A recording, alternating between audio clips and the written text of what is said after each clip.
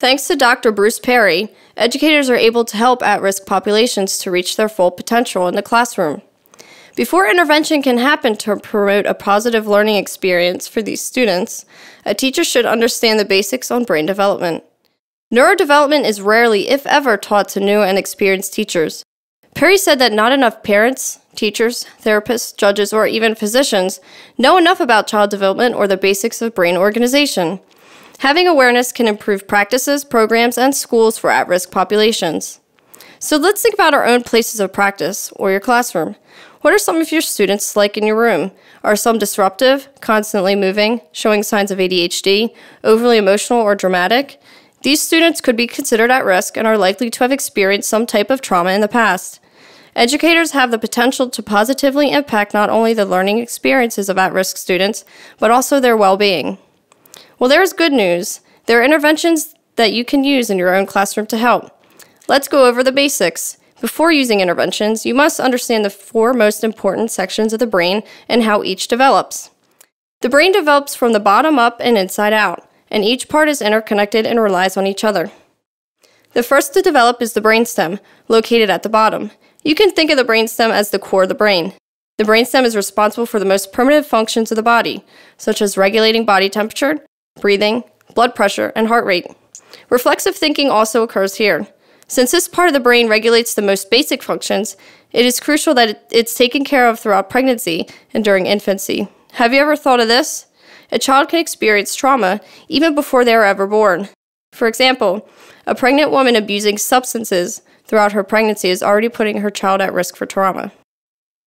Following the brainstem is the midbrain. This section is seated on top and is slightly wider than its cohort below.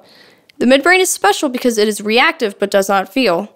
Fine motor skills, appetite, and sleep are regulated here. In order for the body to move, the midbrain sends signals. For example, blinking is controlled by communication from the midbrain. Negative experiences that affect the brainstem will also have a natural effect on the midbrain, as they are connected and rely on each other. The third section of the brain makes development a little bit more interesting. Above the brainstem and the midbrain sits the limbic system. The limbic system is considered to be the trigger for impulse and emotions. Affiliation, attachment, sexual behaviors, and emotional reactivity happen here. The feeling of love occurs in the limbic system. In at risk youth, the idea of love may be skewed due to trauma in the past, depending on the situation. The final section of the brain is called the cortex. Above all others, the cortex sits on the top of the brain, rolling over the brainstem, midbrain, and the limbic system, and is the widest section. Abstract and concrete thought processes are created here, as well as logic and judgment. Remember, too, that each section of the brain is interconnected. The younger the child during trauma, the greater the impact it has on their life and each part of the developing brain.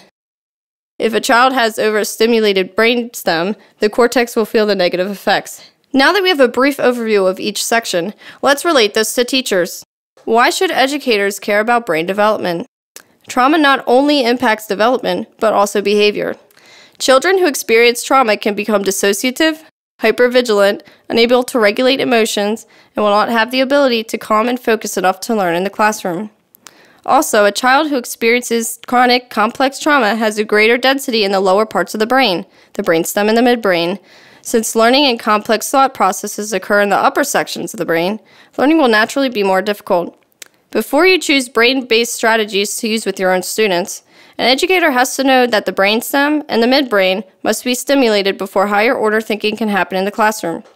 If interested in brain mapping and the neurosequential model of therapeutics, please visit the work of Dr. Bruce Perry and his team at www.childtrauma.org.